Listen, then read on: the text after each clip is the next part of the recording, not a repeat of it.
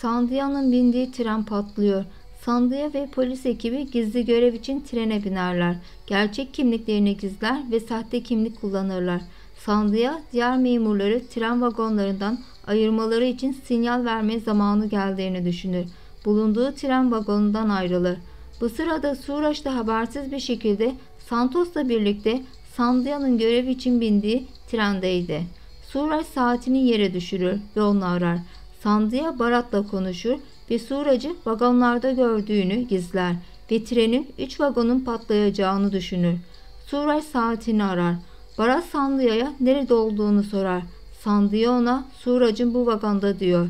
Barat ne olduğunu sorar. Sandiya yanılmış olabileceğini ve bu vagona bindiğini söyler.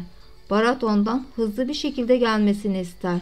Sandiya önce Surac'ı güvence altına alacağını söyler. Şu anda polis memuru olduğunu ve aklından geçenleri düşünmesi gerektiğini söyler.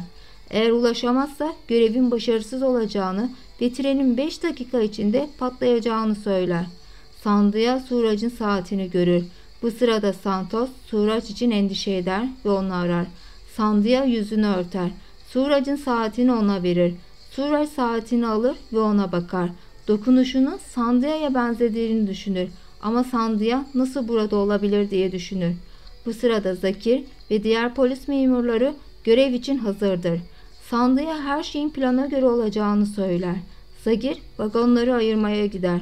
Bu sırada Santos Surac'ı arıyordu. Zagir vagonlar arasındaki vidayı gevşetir ve vagonlar ayrılır. Santos Surac'ı bulur ve ona nerede olduğunu sorar. Surac çay aldığını söyler. Santos vagonun diğer tarafında Sandiya'nın Bengalli kadın gibi giyinmiş bir şekilde görür ve şok olur. Vagonlar ayrılır. Sandiya, Suraç ve Santos'a bakar. Trenden ayrılan vagon patlar. Barat ve diğer polis memurları patlamadan önce vagondan nehre atlamışlardı. Daha sonra Suraç ve Santos patlama alanına gelir.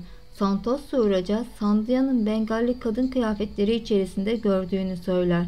Suraç Sandiya'nın trende olmadığını söyler ve ondan endişelenmemesini ister. Yüklediğim yeni videolardan haberdar olmak için kanalıma abone olmayı unutmayınız.